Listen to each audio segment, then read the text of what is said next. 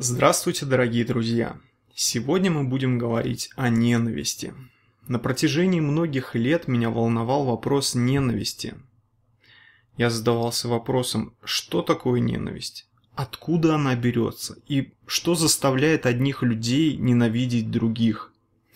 Порой я сам становился объектом ненависти, и всякий раз я задавался вопросом, что во мне не так, раз кто-то меня ненавидит? И шло время. Багаж моих знаний относительно ненависти рос. Копился мой опыт э, как объекта ненависти. И думаю, у каждого из вас также есть опыт, когда кто-то вас ненавидел, и вы задавались вопросом, за что же вас ненавидят. И постепенно я начал изучать книги по психологии, духовную литературу – я слушал лекции духовных учителей и постепенно пришел к новому пониманию ненависти, которым хочу поделиться сегодня с вами, и, возможно, это поможет вам по-новому взглянуть на ненависть. Видите ли, ненависть практически ничего не говорит о том человеке, которого ненавидят, но очень четко очень внятно и красноречиво рассказывает о том, кто ненавидит.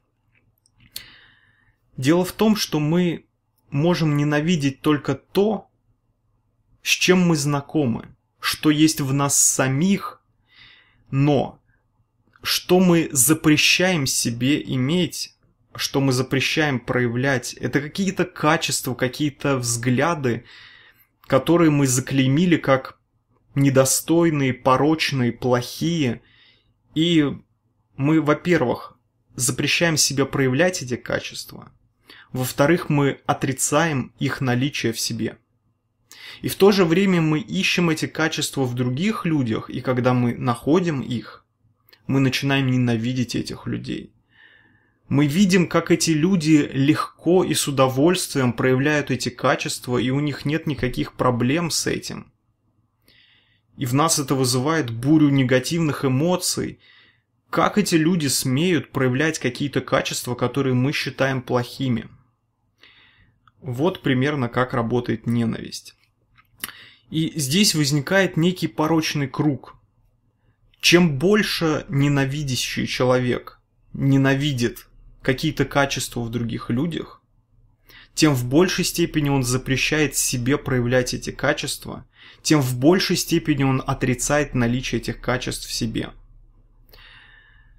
И обычной реакцией людей, которых кто-то ненавидит, является ответное проявление ненависти. И в этом видео я хочу предостеречь вас от этого опрометчивого шага. Такая модель поведения является реактивной, то есть что-то происходит, и мы как-то реагируем на это. Но пора стать хозяевами своих реакций. И перестать отвечать злом за зло.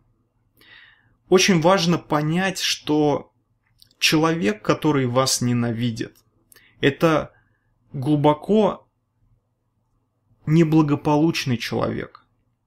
Это человек, который уже страдает, который уже сам себя наказывает. Этот человек разделен на части, и он отказывается принимать какую-то часть себя.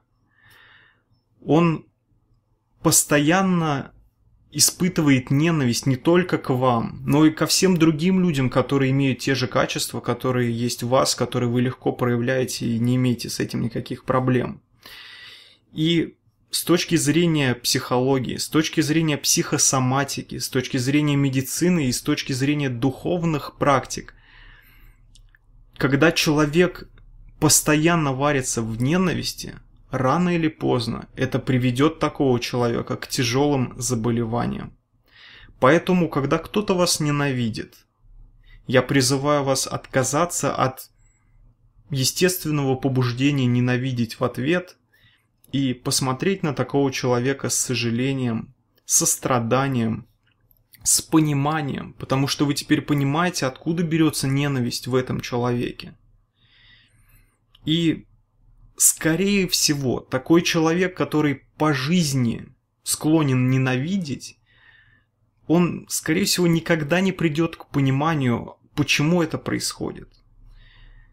И такой человек, скорее всего, через некоторое время заболеет, будет долго лечиться и продолжать ненавидеть. То есть этот человек будет иметь несчастную жизнь и без ваших ответных каких-то негативных эмоций. Но что касается вас, это то, что если вы будете отвечать ненавистью на ненависть, вы также в себе будете возвращать эти негативные эмоции, а оно вам надо.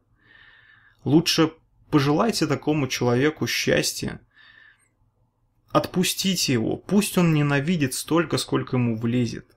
Теперь вы знаете, какие тяжелые последствия готовит себе человек, который ненавидит. И нет необходимости ненавидеть его в ответ.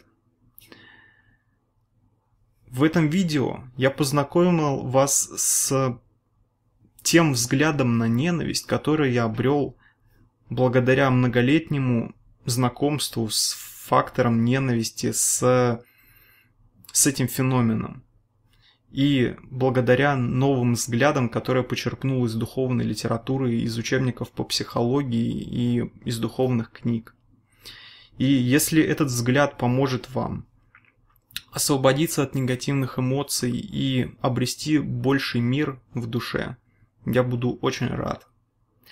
Мне интересно ваше мнение на тему ненависти. Что вы думаете о ненависти? Как вы поступаете, когда кто-то вас ненавидит? Напишите об этом в комментариях под видео. Я с удовольствием и с интересом прочту ваши комментарии. Также вы можете ставить лайки, если это видео было интересно или полезно для вас.